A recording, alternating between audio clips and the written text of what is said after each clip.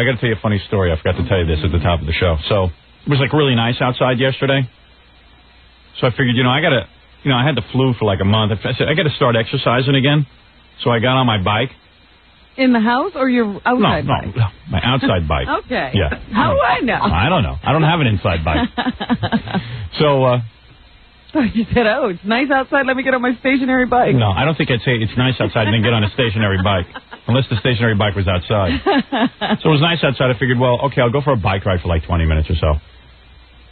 You know, start getting back into exercising. So I got this like mountain bike. So what I do is like, sort of near my house, there's uh, places you can go off off the road and onto dirt, Oh, trails and stuff. hmm So I usually do that because I don't like to ride on the road. First of all, it's just boring, and you know, I think You got to dodge traffic. yeah, and it's just better exercise to, I think, to be on the dirt like a man. Don't you also think that people in cars aim at bikes? I know I do. So I got to figure. No, I, I told you one last summer I was riding my bike in the, on, on the road, and this this this three punks pull up alongside me and almost hit me. Hmm. And they start yelling at me, at me. They're in the car and they start yelling at me. So I st- I just, you know, for once in my life, I wasn't a pussy. I just went and I just started screaming at the guy, "F you, F Oh, you, yeah? F you." so then all of a sudden he he peels out. Three guys. Then they come to a light and they see me chugging along trying to ride my bike. And I said, "Hey, you pussy, why don't you wait over there? Wait till I get there." And I'm like, "Oh my god!" And then they What is wrong wait, and then they wait, and I'm like, "Oh my god, what am I doing? I'm alone. It's three guys in a beat up old car." You know they can take you. They're going to kick my ass. so I got up there, and the guy started yelling at me, and I yelled back at him, and then he took off. So he didn't get out of the car, thank God. I guess I put up a good enough front, like I looked yeah. like. Scared him. And meanwhile, I look like Poindexter. I was going to say, you Yeah. better know Kung Fu or something. yeah, I mean, I look like the class geek. so anyway, uh, so I went bike riding yesterday, and, I, and I'm riding stuff, and I, I get off road, you know, with my mountain bike. Yes, go up into the trails. Yeah, I was in some trails, you know, nothing, nothing heavy, and then uh, like horse trails. And then I'm like going and stuff. All of a sudden, I'm like turning a corner, and I see in a pile of leaves, like a guy laying in the pile of leaves. Like a body? I see the legs and the shirt, and I, like, I'm like, oh my god, I think there's. A, so I stop my bike, and must have been about 20 feet from me, Uh-huh. and I could see it. Like, some of the bushes were obscuring, so all I could see is like the end of his legs and his feet, and he's laying still. You see feet. I didn't see the feet. I saw the legs. I Mhm. couldn't see the feet. I saw the legs, like the blue jeans and the red sweatshirt. Oh. And I'm like, uh oh. Because now I'm thinking, okay, if I go, let's say it's somebody dead or it's somebody dying. If I go over there, that's cool. I'll help them. But let's say it's someone who is waiting, like a homeless dude looking to kill somebody. So I'm getting all weirded out because I'm alone in the woods. There's nobody around. I mean, I'm well, up in the I'm woods. wondering if you get close, what are you going to do? I mean, you're not Right. I didn't have any this person with your weapons. Yeah, right. I didn't have anything. So, what do you think I did? Uh, hey, I'm a hero today. Hey, what do you think I did? You went and left. Of course, she knows me better than anyone. I get on my bike and like, like you know, remember like the Three Stooges? I was like, whoop, whoop, whoop, whoop, whoop, whoop, whoop, whoop. riding extra fast. I'm like, feet don't fail me now. I'm getting out of here. If this guy's dead or he's dying, I don't care. It could be some mass murderer in there. I get on my bike and I start. I mean, the wheels are spinning. you can't and, see the wheels anymore. and guess what happens? What? I blow a flat. oh. Wait a second, my back tire blows out. Oh no. Now I'm in the dirt, and I'm like, I'm spit. I go, what do I do? What do I do? What do I do? And then I start to hear noise back there. I heard like, I, uh, not from where the guy was, but like maybe like an animal or something. So I just, I said, right on the rim, man. I start going because I was far away from my house, and I'm riding on the rim, and uh, I didn't care. I'm getting out of there. So I, I take off, and uh, and I start going.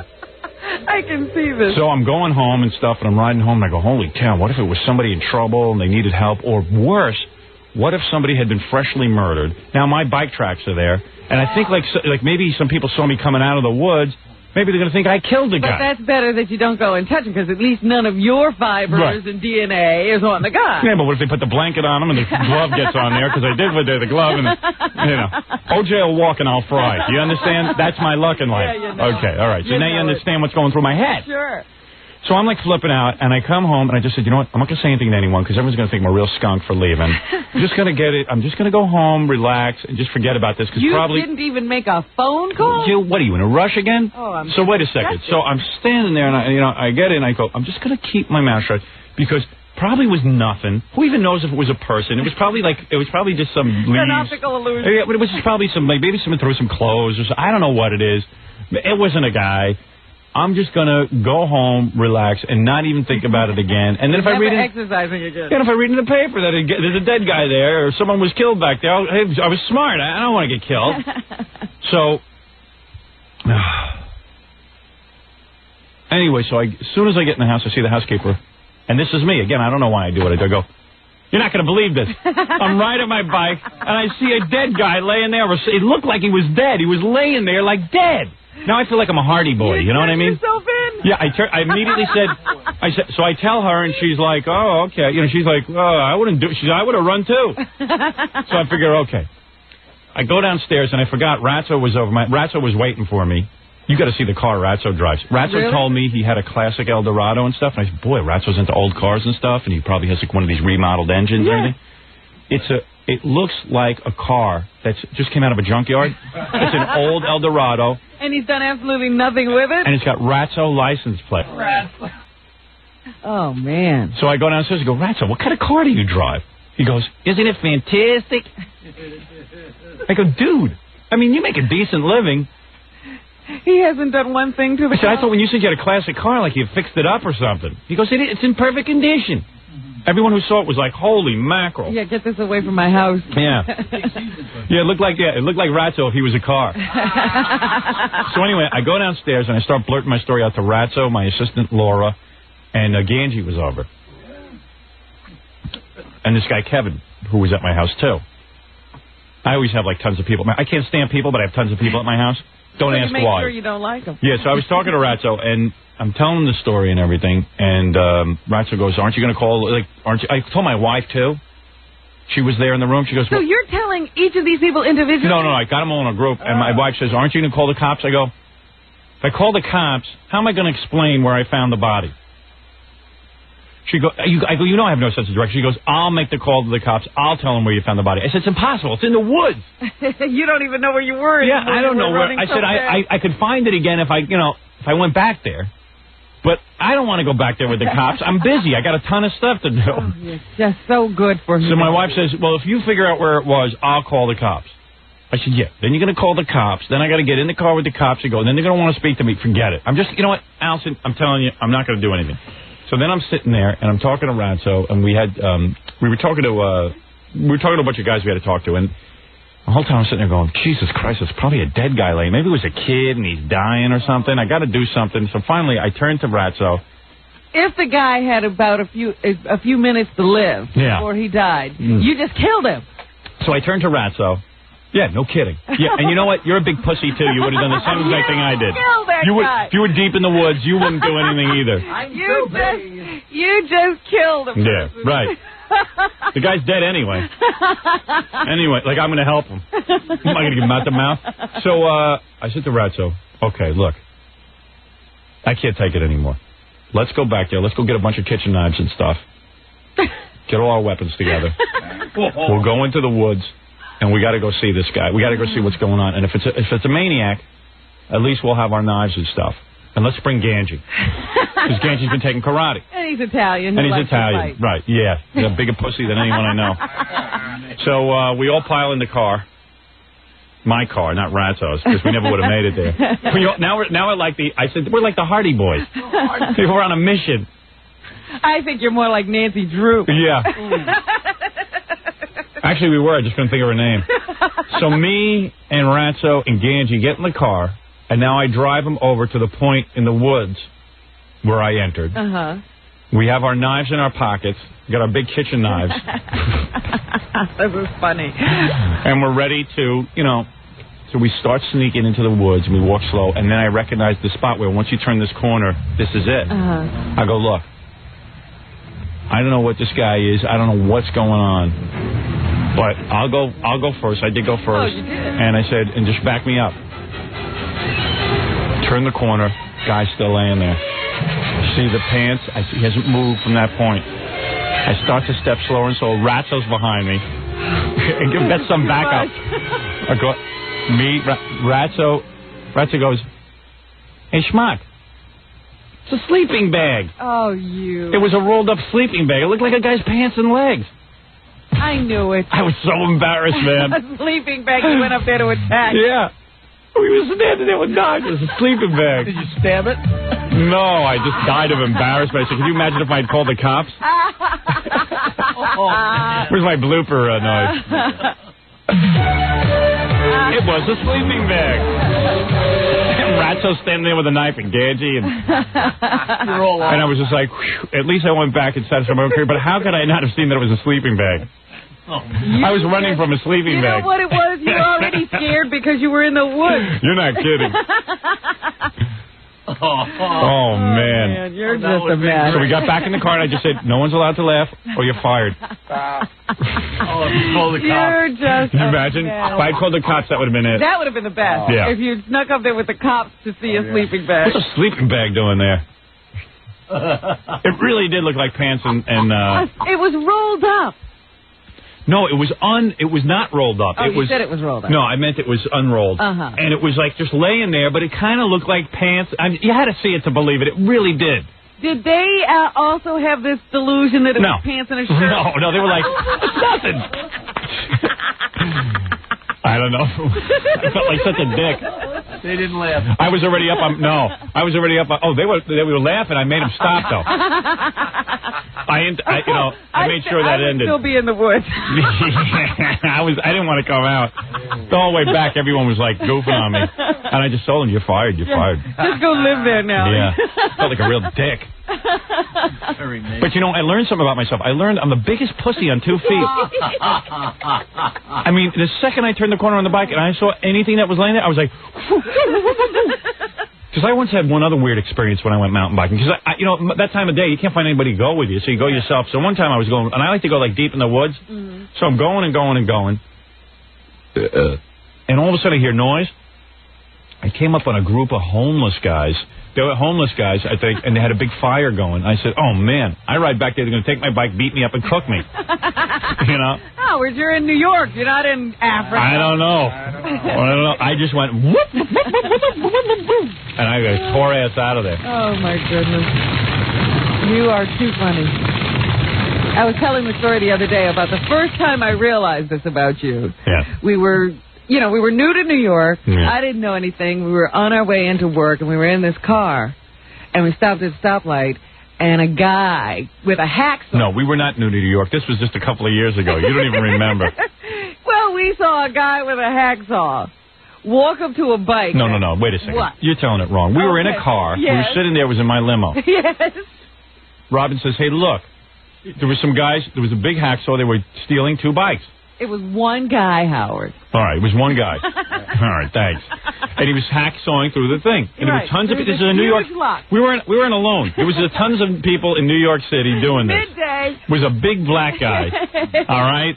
I don't remember Yeah, what color yeah. it was. The guy the guy looked like Mike Tyson. Okay, but didn't have a boxing Probably career. a scrawny little messenger Yeah. type. You, you know what? You change the stories in your books. On this show, I tell the truth. I'm going to tell you something.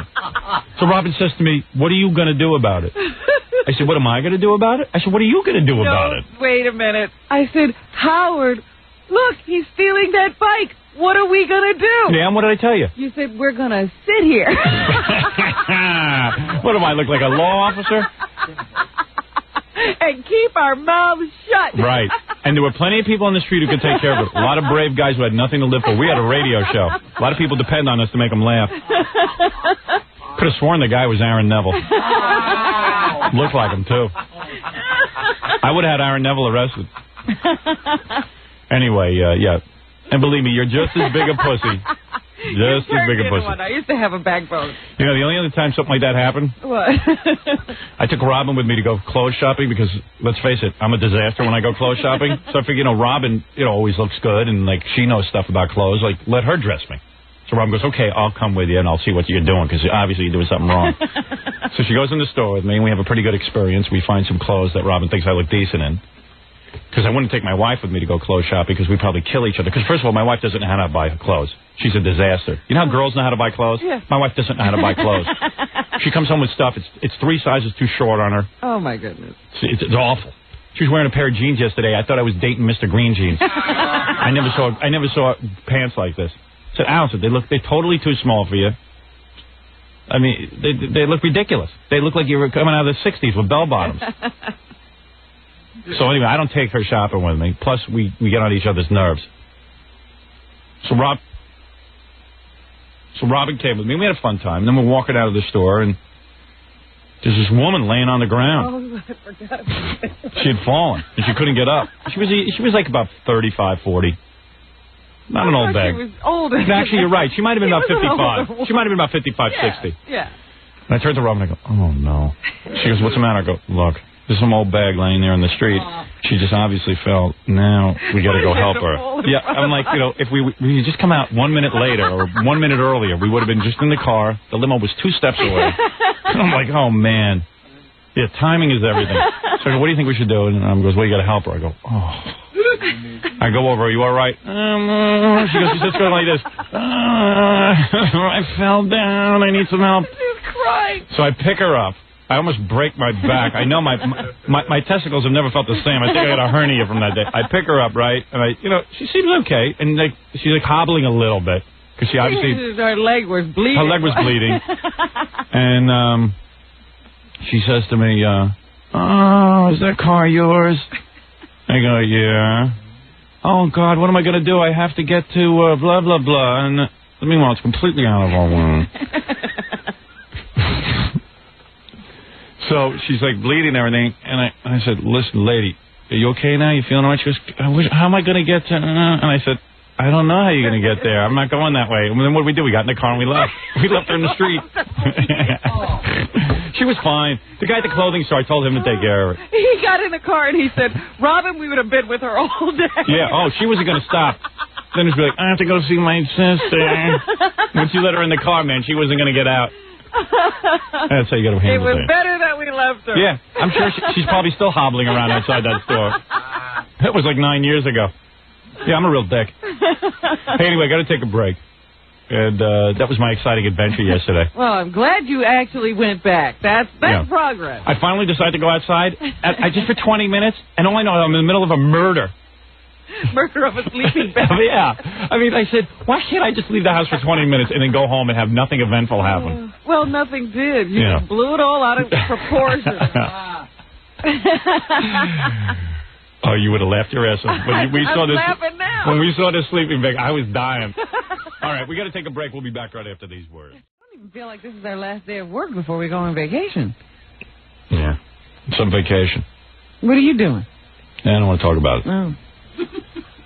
I'll tell you when I get back. I'm going to be at my house.